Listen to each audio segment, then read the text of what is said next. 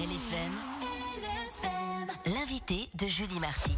C'est la rentrée, rentrée chargée pour le Conseil d'État vaudois. Le Conseil d'État vaudois qui a présenté au mois de juin son contre-projet à l'initiative populaire 1% pour le sport et on reçoit ce matin Christelle Luisier. Bonjour. Oui, bonjour. Vous présidez donc le gouvernement vaudois, êtes la chef du département des institutions, du territoire et du sport.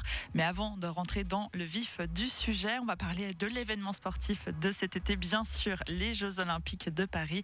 Qu'est-ce que vous en avez pensé? Euh, ces jeux ont été vraiment fantastiques. Euh, ce qui a été relayé dans les médias, à savoir euh, des sites exceptionnels, une ambiance incroyable, donc une ferveur qui va bien au-delà de, du sport, mais qui est une ferveur populaire. Eh bien, c'est exactement ce qui a été vécu à Paris avec une adhésion très forte de, la population et des visiteurs. Et donc ça, c'est ce qu'on appelle la magie des jeux, mais je crois qu'elle était vraiment présente à Paris. Et bien sûr, une médaille vaudoise avec le, le bronze de Zoé Klessens et bien sûr cinq diplômes obtenus dans différentes disciplines. Est-ce que ce type de résultat, ça vous conforte dans l'idée qu'il faut en faire plus pour le sport? Bah, Effectivement, euh, bon, le sport d'élite, c'est une des facettes euh, de, la politique sportive. Euh, on a le sport populaire et le sport d'élite, ils sont extrêmement complémentaires. Et puis, quand on a des résultats comme avec Zoé Klessens, ben, c'est fantastique parce que c'est une très belle vitrine. Et puis, Zoé Klessens, ben, c'est aussi un modèle finalement pour, pour nos jeunes et en particulier aussi pour les jeunes filles. Vous êtes conseillère d'État en charge des sports et vous avez présenté donc au mois de juin dernier votre contre-projet à l'initiative populaire 1% pour le sport. Les initiants demandent 100 millions par an, vous en proposez 60. Pourquoi cette différence? Alors euh, les initiants demandaient aussi de, pouvoir vraiment euh, conserver chaque année un pourcentage du budget annuel euh, de l'État pour le sport. C'était des choses qu'on ne fait pas. Nous on travaille non seulement enfin on ne voulait pas travailler en lien avec un montant, mais en lien avec des priorités.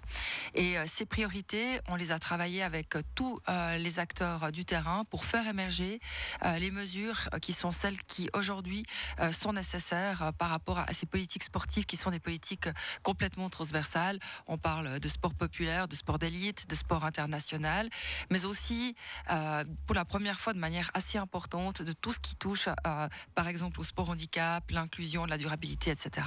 Le budget passerait de 8 à 35 millions de francs. Les comptes vaudois euh, sont pour la première fois depuis 2004 dans le rouge. Est-ce que c'est vraiment faisable? Alors, au niveau du Conseil d'État, on a repris l'ensemble du programme de législature et évidemment qu'on est toujours euh, dans, un, dans une recherche d'équilibre entre, d'une part, le fait de développer le coton et de l'autre, préserver euh, nos finances. Et donc, ce qui est aujourd'hui prévu pour la politique sportive, mais comme pour d'autres projets euh, cotonaux, eh bien, c'est de regarder année après année. On a un plan, on a une feuille de route euh, pour mettre en œuvre euh, les montants qui sont évoqués, les projets euh, que l'on souhaite inscrire pour la politique sportive mais c'est sûr que à chaque fois, on devra reprendre aussi euh, la question euh, du budget pour voir si c'est faisable aussi rapidement que ce qui est prévu. Christelle Luisier, le contre-projet annonce également un crédit d'investissement de 150 millions jusqu'en 2030 pour la construction de différentes infrastructures sportives. Est-ce que c'est une des grandes urgences? Dans le cadre des, sondages qui ont été menés avec les, les, clubs sportifs, on se rend compte aujourd'hui que c'est un des plus gros soucis euh, par rapport à des listes d'attente, par exemple, de jeunes qui aimeraient euh, jouer dans un club de foot, mais dans d'autres disciplines aussi. Et on se rend compte que le manque d'infrastructures, c'est une des clés euh, par rapport justement au fait de, de pouvoir continuer à euh, accueillir plus de jeunes et en particulier des équipes féminines.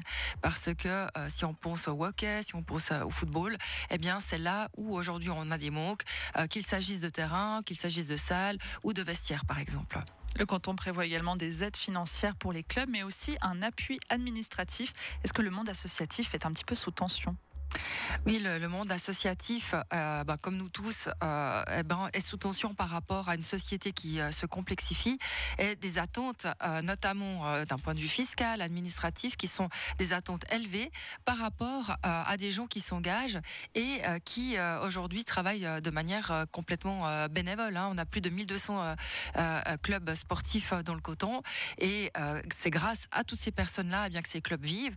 Et donc l'idée, c'est de pouvoir les appuyer euh, en donnant une subvention à la fêtière euh, sportive cotonale, donc à Sportvo, qui ensuite pourrait euh, engager des personnes qui appuieront les clubs dans ces questions juridiques, techniques, etc. Et donc de ne pas réinventer la roue à chaque fois, mais d'avoir un appui sous cette forme-là. Vous disiez, Christelle Luisier, lors de la conférence de presse donc au mois de juin, que c'était aussi aux communes de faire leur part du travail. Est-ce que le but avec ce, contre-projet, c'est d'inciter les communes à en faire plus? Le, coton intervient toujours de manière subsidiaire. le privé, dans le cadre sportif, est, prioritaire, donc les clubs, les, les sponsors, les gens, enfin les gens. Et puis, dans ce cadre-là, il y a une très bonne collaboration entre les communes et le coton. Les communes sont plus près du terrain, c'est elles aussi qui construisent les infrastructures.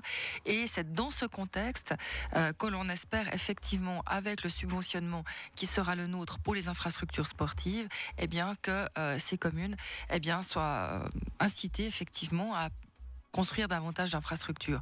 On incite aussi euh, les communes à travailler de manière coordonnée euh, pour avoir un, peu une optimisation de, ces infrastructures sur le territoire vaudois. Vous l'avez dit, c'est un projet, un contre-projet transversal. En tout, il y a 36 mesures qui vont du soutien aux fédérations internationales à l'éducation physique à l'école en passant par la promotion du sport handicap. Est-ce que c'est vraiment réaliste? Oui, je pense que c'est tout à fait réaliste. En fait, c'est quelque chose qui existe déjà, simplement, on l'a maintenant euh, conceptualisé. On a débuté avec un concept cantonal du sport qui donne notre vision stratégique à 10 ou 15 ans. Et euh, maintenant, eh bien, on simplement, on renforce, pour une part, les politiques qui sont déjà menées, et d'autre part, notamment euh, concernant les politiques liées au sport populaire, il y a une réelle attente. On voit aussi à quel point le sport est lié à la santé aujourd'hui. Toutes les études le démontrent. Et donc, c'est dans ce contexte-là qu'on souhaite développer ces axes. Ce document fait office donc de contre-projet à l'initiative populaire pour une politique sportive vaudoise ambitieuse et est mis en consultation publique depuis euh, le 27 juin et jusqu'au 30 août euh, prochain. Est-ce que depuis euh, les annonces faites au mois de juin, il y a des changements qui sont déjà prévus? Alors pour l'instant, euh, on est plutôt à inciter l'ensemble de la population à répondre à la consultation, puisque cette consultation euh, va se dérouler jusqu'au 30 août. Donc euh, on attend maintenant d'avoir l'entier des remarques et des réponses qui nous seront données peut-être aussi les suggestions. Et c'est sur cette base-là que nous analyserons les résultats et que potentiellement nous pourrions amener quelques modifications dans ce contre-projet. À l'issue de la consultation publique et de l'étude approfondie des retours, le contre-projet définitif donc euh, du Conseil d'État sera transmis pour examen au Grand Conseil et en cas de votation populaire sur l'initiative et le contre-projet, euh, celle-ci se tiendra donc au plus tard en septembre 2025. Christelle Luisier, vous êtes la chef du département des institutions, du territoire et du sport. Merci d'avoir été avec nous ce matin. Merci beaucoup pour l'accueil. 7h27 sur LFM. Belle journée.